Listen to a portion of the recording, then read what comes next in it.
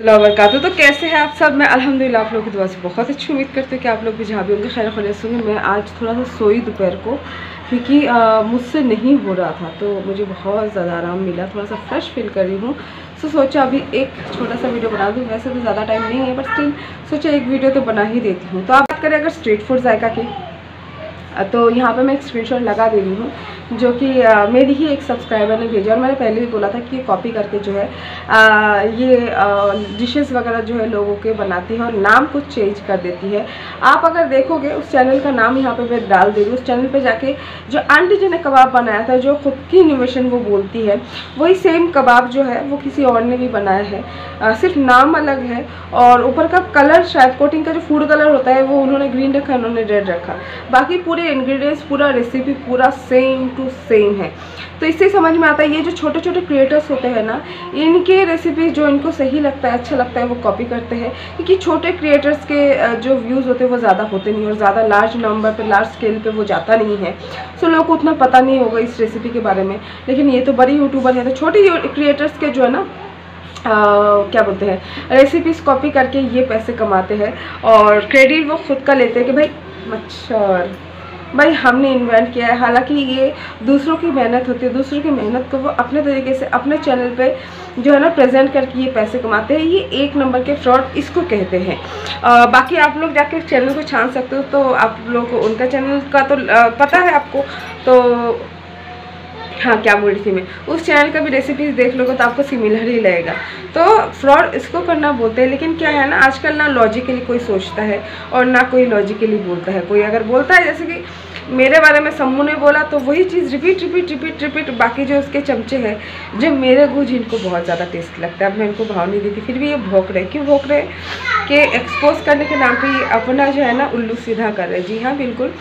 So I am not going to entertain them at all because they are not paying me ठीक है? अब बात करते हैं हमारी तोतली आंटी के बारे में जो कि अबाया हाउस का प्रमोशन वो कर रही है लगातार कर रही है क्योंकि अबा अबाया हाउस को जो है आ, उसका अच्छा खासा रेस्पॉन्स आई गेस मिला है इसलिए बार बार उनको ही बुला रहे हैं प्रमोशन के लिए।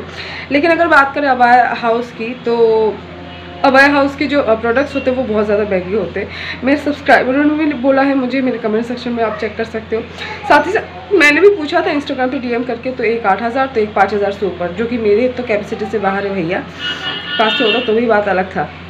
सो so, हम जैसे लोअर मिडिल क्लास फैमिली के लोगों के लिए तो बिल्कुल भी नहीं है। लेकिन मैडम जी अबाया की प्रमोशन करते फ्री में अबाया भी लेती है पैसे लेती है लेकिन अबाया पहनते हुए बिल्कुल भी नहीं दिखती है। जब भी रोडों में जाती है वही अपना जो है आ, क्या बोलूँ मैं टैंकर जैसा पेट और फुटबॉल जैसी बॉडी लेके निकलती है। वैसे मैडम जी तो बोलती है कि रमज़ान में उनका वेट बढ़ जाता है रमज़ान के बाद जो उनका वेट कम हो जाता है। इनकी बातें सुनकर तो ऐसा ही लगता है कि रमज़ान के महीने में पूरा साल का कोटा वो फुल करती है और पूरा साल वो डाइटिंग पे रहती है और वो इतनी पतली एक दिन हो जाएगी कि उनको माइक्रोस्कोप से ढूंढना पड़ेगा उनको उनकी फैमिली वाले को। बातें करना तो बहुत आसान होता है। मगर मुझे लगता है कि लॉजिकल बातें करना चाहिए लोगों को। जैसे कि कुछ कुछ आजकल के लोग जो है, मैं बिल्कुल उनको एंटरटेन तो अब तो बिल्कुल ना करूँ, क्योंकि मैं उनको एंटरटेन करूँगी तो उसका पैसा मुझे नहीं मिलेगा। मैं आप लोग को एंटरटेन करूँगी तो उसका सैलरी मुझे यूट्यूब देगा कि मैं फ्रॉड हूँ, ऐसा है, वैसा है, बहुत पैसा मैंने लोगों से लूटा है, ये वो फलाने का। तो भाई, अगर मेरे पास पैसा है, मैं फ्रॉड हूँ तो भाई कहाँ है वो पैसा? वही लोग बोलते हैं कि मैं गदने नाइटी पहनती हूँ तो भाई एक पैसे वाली औरत जो लोगों को फ्रॉड करके लूटती है तो वो अपने लिए दो नाइटी तो खरीद ही सकती है, पाँच सात सौ का दो नाइटी तो नहीं, आप लोगों को नहीं लगता है? और अगर मैं फ्रॉड हूँ तो ये दुपट्टा वगैरह जो है, मेरी मम्मू आंटी ने मुझे गिफ्ट दिया है तो मुझे दुपट्टा भी खुद के लिए लेना चाहिए। पैसे वाली औरत हूँ भाई, मैं फ्रॉड करके लोगों से इतना पैसा जमा कर चुकी हूँ। तो सबसे पहले तो मैं अपने कपड़ों के ऊपर ध्यान दूँगी क्योंकि मैं सोशल मीडिया में आती हूँ कमाने के लिए और वही सोशल मीडिया में आती हूँ तो कुछ अच्छा पहन के आऊँगी। पैसे वाले औरत तो सुहागन हूँ, लेकिन आज तक सोने का एक नाक का मैं खुद के लिए नहीं ले पाई। कहा है वो पैसा? वैसे पैसे वाली हूँ, लेकिन आज भी मैं ऑटो में ही जाती हूँ। पैसे वाली हूँ, आज भी मैं दाल और सब्ज़ी ही खाती हूँ। हालाँकि मैं बंगाली और फ़िश मुझे बहुत ज़्यादा पसंद है। पैसे वाली हूँ भी, फिर भी आज भी मैं दो रूम के कमरे में रह रही हूँ और मेरा पति सेल्समैन है। तो एक इंसान के पास अगर पैसा है तो उसके लाइफस्टाइल में दिख जाता है, जैसे कि शेरू हो गया, नाजिया हो गई, या फिर ये अफरोज़ किचन हो गया। लेकिन मैं एक एक वाहिद पैसे वाली ऐसी हूँ, जिसके पास ना ढंग के जो है ना घर पर पहनने के लिए बुरका मतलब मैक्सी है, और ना उसके पास बुरखा है, और हर जगह जाते तो आप लोग देखते हो, वही छः सौ वाला जो बुरखा है, पिछले साल लिया था, वही पहन के जाती हूँ, और वही पुराना दुपट्टा था जो थैंक गॉड मोमो आंटी ने मुझे अब दिया तो मैं पहन रही हूँ। तो मुझे नहीं लगता है कि पैसे वाले लोगों का लक्षण ये होता है, अगर होता है तो सबसे पहले मैं अपना लाइफस्टाइल चेंज करूँगी, दिन भर इतना मरमर करती हूँ। एक अपने लिए तो वॉशिंग मशीन लेके यहाँ पे रख ही सकती हूँ। नहीं, ये यहाँ पे तो जगह ही है रखने का। तो रख ही सकते थोड़ा बहुत मुझे भी थोड़ा आराम मिल जाएगा और थोड़ा काम भी मेरा जल्दी हो जाएगा। हाथ से धोने की जो है मेहनत वो नहीं लगेगा। बहुत सारी चीज़ें यार बोलने के लिए, लेकिन क्या है ना, मुँह है, ज़बान है, बोलने के लिए क्या है? लॉजिकली इंसान को सोचना चाहिए कि हम जो बोल रहे हैं वो लॉजिकली कहाँ तक सही है, कहाँ तक गलत है, क्योंकि इंसान के पास पैसा होता है। तो इंसान के लाइफस्टाइल में दिख जाता है। और मैं तो खुल के अपना लाइफस्टाइल दिखाती हूँ। बस मुझे इन लोग को एक्सपोज करना था, मैंने कर लिया। बाकी ये लोग मेरे नाम का गु खाते रहे आई रियली डोंट केयर वो लोग मेरे नाम का गु खाएँगे भी क्योंकि ऑफकोर्स मैं इनसे ज़्यादा जो है थोड़ी ज़्यादा सक्सेसफुल तो हूँ अलहमदिल्ला से। एंड इनके पास कुछ कंटेंट नहीं बचा है, क्योंकि अब ये नाजिया के चार्ट है तो नाजिया के खिलाफ बोल नहीं सकते और बाकी कोई यूट्यूबर इनको दिख नहीं रहा है। मैं चढ़ता सूरज उनको दिख रही दिख रही हूँ तो मेरा पैर खींचने की कोशिश वो कर रहे हैं। वैसे कीचड़ है, कीचड़ तो गंदा ही होता है, और कीचड़ में अगर पत्थर मारोगे, छीटे अपने आँख पे आएँगे। मैं क्या हूँ, क्या नहीं हूँ, वो मैं जानती हूँ, जो मुझे पसंद करते हैं, उनको पता है। और जो उनको उनकी बातों पर ट्रस्ट करेंगे, वो भी एक नंबर के बेवकूफ़ी होंगे। क्योंकि भाई एक इंसान अगर करेक्टर लेस है करेक्टर लेस भी मुझे बोला गया तो भाई मेरे, मैं यूट्यूब में क्या कर रही हूँ, एक औरत अगर करेक्टर लेस है तो उसको तो आराम से काफ़ी सारे पैसे मिल जाते होंगे। नहीं, आजकल तो एक औरत के लिए अगर करेक्टर लेस औरत के लिए पैसे कमाना बहुत आसान है तो मैं इस चीज़ से भी क्यों मांगू है ना?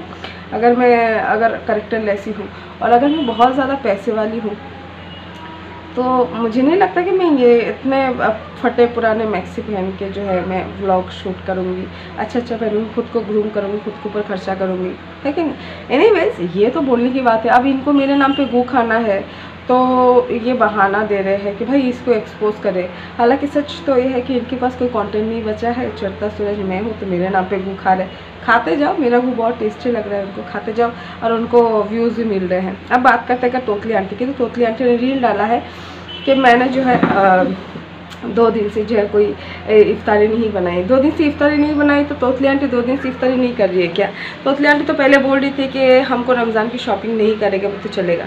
लेकिन अब तो बीसवा रोज़ा भी नहीं गया, लेकिन शॉपिंग को तो निकल ही गई ना। वैसे इनकी शॉपिंग तो इस ज़िंदगी में कभी ख़त्म नहीं होगा, क्योंकि हराम का पैसा हराम में ही डालेंगे। लोगों को लूट के, लोगों के साथ फ्रॉड, गिरी करके, असली फ्रॉड तो ये करते लेकिन इनके नंबर्स बहुत ज़्यादा है, उनके पास पैसा है तो इनको कोई बोलने का जो है हिम्मत रखता नहीं है। क्योंकि पता है, अगर ये एक्शंस लेने में आ जाएँगे तो ये जो है ना ये इनके चैनल्स जो है वो बंद हो जाएँगे। ये ऐप्स के प्रमोशन करते हैं जो फर्जी ऐप होते हैं इनकी कमेंट सेक्शन पे आप जाके देखोगे तो लोगों के कमेंट भी आपको मिलेंगे कि वर्क फ्रॉम होम का ऐप का जो है प्रमोशन करा। आ, लेकिन उन लोगों ने पैसा लेके कोई काम नहीं दिया। फिर तोहफ़ा कलेक्शन का मुझे काफ़ी सारे डीएम्स और कमेंट्स भी आए तोहफ़ा कलेक्शन के ऊपर कि इसके ऊपर बाजी वीडियो बना मैम इसके ऊपर वीडियो बना इसके प्रोडक्ट्स बहुत गंदे होते हैं हमको हमारा पैसा लेके बहुत ख़राब प्रोडक्ट्स दिए ऐसा वैसा तो सारे फ्रॉड गिरे तो यही करते हैं असल में। और उनकी लाइफस्टाइल अगर देखोगे, जो चीज़ की उनकी ज़रूरत नहीं है, वो चीज़ भी वो लेते हैं। हाउस वार्मिंग में शॉपिंग करा। फिर रमज़ान स्टार्ट होने से पहले शॉपिंग करा। अब बीसवा रोज़ा भी नहीं गए अब भी शॉपिंग करा। तो कहीं ना कहीं से समझ जाओ कि ये जो है ना, ये ये खुद सिर्फ़ अपने खुद के लिए जीते हैं। इनका कोई वो नहीं है। शॉपिंग करने गए तो बेटा बोलता है कि मम्मी का शॉपिंग हो गया। तो हमारा टेंशन ख़त्म। भाई, मम्मी तुम्हारे 16 साल की 18 साल की जवान कच्ची कली तो नहीं है कि भाई उनकी शॉपिंग इतनी इंपॉर्टेंट और इनकी शॉपिंग में जो है ना इतनी प्रॉब्लम्स होगी। बुज़ुर्ग हो चुके बच्चे बड़े हो चुके भाई, हम जान जवान औरत हो के भी, हम खुद के खुद कमा के भी हम खुद के लिए कुछ नहीं लेते। एक मैक्सी ढाई सौ रुपये की आती है। मैं सोचती हूँ, ढाई सौ रुपये क्यों खर्चा करूँ? दुपट्टा ओढ़ के ही बैठ जाऊँगी। फटा जहाँ से भी है लोगों को दिखेगा तो बिल्कुल भी नहीं। क्योंकि दुपट्टा ओढ़ के बैठती हूँ ना और घर में, घर से बाहर तो मैं जाती नहीं हूँ। और बाहर जाती हूँ तो बुरका पहन के जाती हूँ तो मैं खुद के पीछे खर्च करने से अच्छा। वो ढाई सौ रुपये में कहीं और लगाऊँ मेरे मियाँ और मेरे बच्चों पर तो काम आए। है कि नहीं है? लेकिन इनके लिए तो भाई पैसा जो है पानी है, हाथ का मैल है। और ये जो बेवकूफ़ बना के कमाते हैं। इसको करना बोलते हैं, लेकिन क्या है ना, आजकल ना लॉजिकली कोई सोचता है और ना कोई लॉजिकली बोलता है। कोई अगर बोलता है, जैसे कि मेरे बारे में सम्मू ने बोला तो वही चीज़ रिपीट रिपीट रिपीट रिपीट बाकी जो उसके चमचे हैं, जो मेरे गुज, इनको बहुत ज़्यादा टेस्ट लगता है। अब मैं इनको भाव नहीं देती, फिर भी ये भोंक रहे क्यों भोंक रहे कि एक्सपोज करने के नाम पे ये अपना जो है ना, उल्लू सीधा कर रहे जी हाँ बिल्कुल। So I am not going to entertain them at all because they are not paying me ठीक है? अगर वो लोग मुझे पे करते तो वो बात अलग था।